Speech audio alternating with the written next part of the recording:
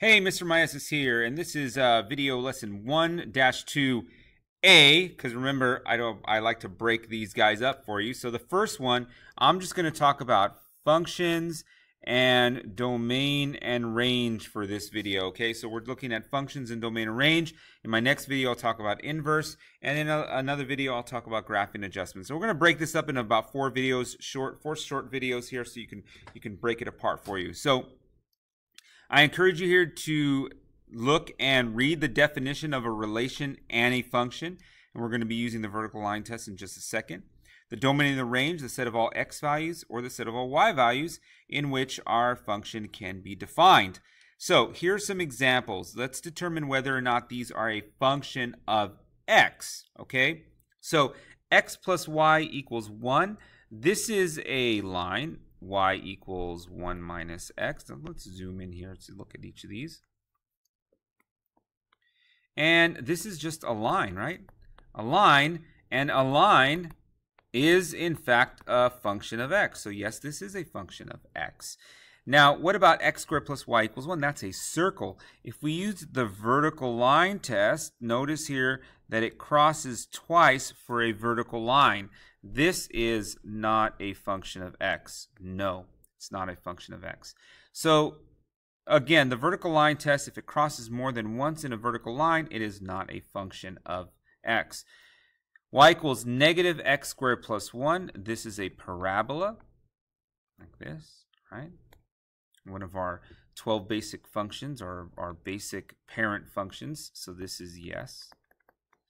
Now, if we did this this one, let me go back to number two real quick. If we did this one algebraically, and we looked at solving for y, we're going to have y squared equals 1 minus x squared.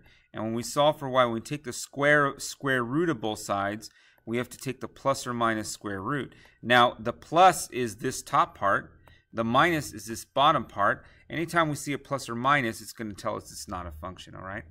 Or not a function of x. Let's look at x. Uh, again, look, here we go. We've got one here that we're doing just like 1 minus x. We've got plus or minus, right? So we see that plus or minus, we're going to say no, it is not. Furthermore, if we graph this, this is going to be a sideways facing parabola. So sideways facing parabola is not going to pass our vertical line test. All right, so that's um, uh, that's our basic functions if we decide we want to find a function. If we want to plug in values for function or evaluate functions, uh, we have this notation, f of 10. What does that mean? That means plug 10 into our f function. So f of 10 is going to be 3 times 10 minus 1, which is 29, right? g of x plus delta x means take x delta x, plug it in anywhere we see an x in our g function. So that's going to be x plus delta x squared. And we're going to multiply that out just for this one, I think. So this would be sufficient, right? Because I said you don't have to simplify. So I actually don't suggest you simplify, but if you did, it would look like this.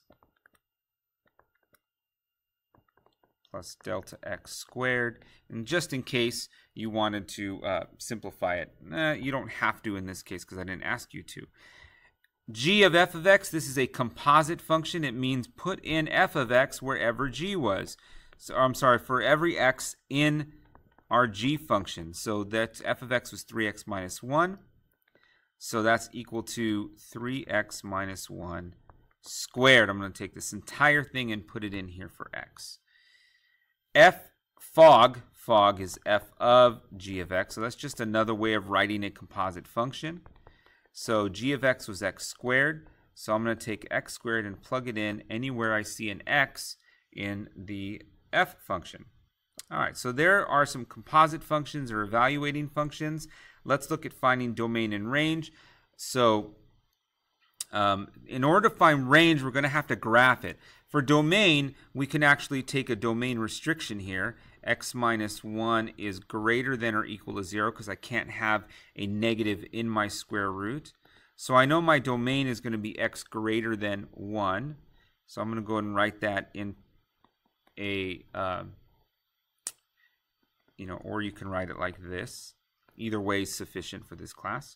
Now, for the range, we're going to need to graph it. So graphing x square root of x minus 1, that's a square root function shifted over like that. So we can see that our y values have to be greater than or equal to 0. Here we have a restriction that x minus 2 cannot be 0. The denominator cannot be equal to 0. So I know that x cannot be equal to 0. So that's my domain. x is not equal to 2, to 2 once I solve this. Okay, or you can write it as um, negative infinity to 2 and 2 to infinity. My range, I'm going to have to graph this. This is a reciprocal function with a horizontal asymptote and a vertical asymptote. So as a vertical asymptote at x equals 2, a horizontal asymptote at y equals 0.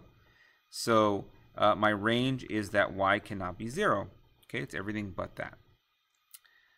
All right, so my last one here for domain and range is uh, this picture here. So we can see that we have a horizontal asymptote here and we have two vertical asymptotes at it looks like x equals 0 and x equals 2 and a horizontal asymptote at y equals 0. So my domain are all values that are not 0 and not 2. And my range, um, well notice here it's anything less than 0. Anything less than 0, but there's this space in here that doesn't have any y values, right? So I'm going to start here at 1 and then go up from there. So I'm also going to say that y is greater than or equal to 1. Right, and I can leave them in that form. I don't have to have them in interval notation, but if I wanted to, I could put them in there. Okay, so there you go. There's just some uh, some introduction here to uh, functions and domain and range. We'll see you in the next video. Bye.